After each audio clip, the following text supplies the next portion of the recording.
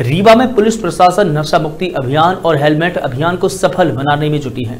प्रशासन इस अभियान में सामाजिक संगठन में भी हिस्सा ले रहे हैं। रैली निकालकर हेलमेट लगाने के लिए लोगों को जागरूक किया जा रहा है। हेलमेट लगाने के लिए लोगों को प्रेरित किया जा रहा है। वहीं नशा मुक्त समाज बनाने के लिए लोगों को संदेश दिया जा रहा है। पुलिस अधीक्षक नवनीत भसी ने बताया कि हेलमेट जान की सुरक्षा के लिए ज़रूरी है और नशा हमारे शारीरिक, मानसिक सुरक्षा के लिए घातक है। वर्तमान में जो दो महत्वपूर्ण अभियान माननीय मुख्यमंत्री जी के निर्देश पर चलाए जा रहे हैं, उसमें नशा मुक्ति और हेलमेट लगाना दोनों को आज देखते हुए विभिन्न सामाजिक संगठन इस प्रकार से आगे आ रहे हैं। जागरूकता के प्रचार में उसी क्रम में आज राजपूत रॉयल संगठन ने भी एक रैली का आयोजन किया है। इसमें नशा मुक्ति को लेकर शपथ ली गई।